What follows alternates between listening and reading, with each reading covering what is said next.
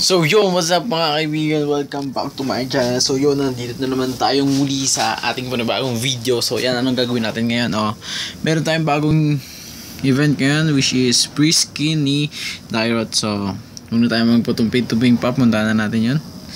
Empire Reburn. So, ayan mga kaibigan. Collect items, obtain massive points, redeem awesome reward. So, go. So, ayan. Claim the skin. So, ayan. Kita na nakuha na natin, ano? Ayan, ganda yan, mga kaibigan. Sakto-sakto meron akong hero ng Dyrod. So, ayan. Skill board. So, ayan mga kaibigan. Meron tayong bagong skinny, Dyrod. So, tingnan natin kung ano pa yung mga panibagong event na ibibigay ngayon ni Muntun. So, wala na yan. YouTube na yan. So, eto meron tayong team up with your friends and play one match 0-1. Tapos yan, ano mo kuha natin? Ito. Ano to? 100 million daw. 40 million. Ano meron dito? So, collect crystal of light and fight against Dyrod. So, meron to 500 starlight. Ang level 20 rin yan, ano? So, yun yung makukuha natin. Lagi no November 30 to claim Dyrod exclusive battle effect. So, ito yung makukuha natin sa makukuha natin sa November 30, no? So, ayan. At meron tayo na to. Team up with friends and play one matches. So, screenshot natin yan.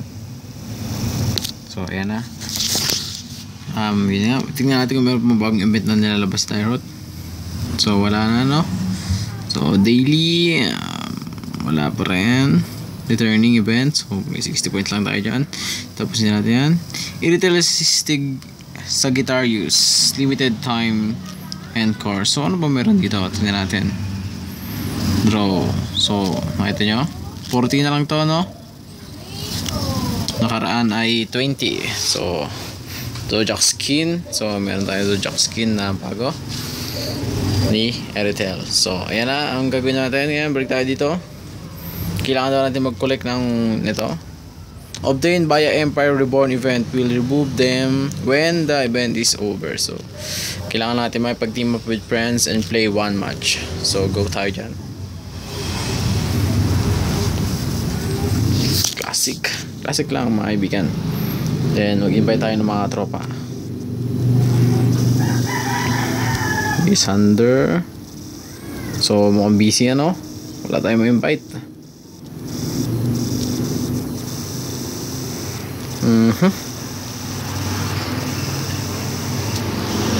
So, wala tayong ma-invite. So, hindi muna tayo makapaglaro ngayon. So, hanggang dyan muna mga kaibigan. Thank you so much for watching.